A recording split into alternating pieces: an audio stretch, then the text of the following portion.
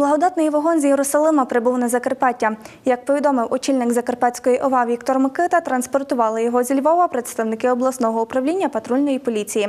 Відтак доправили святе світло до єпархіального храму преподобного Амфілохія Почаївського, де його передали єпископу Ужгородському і Закарпатському православної церкви України Варсонофію та вірянам, які очікували у храмі.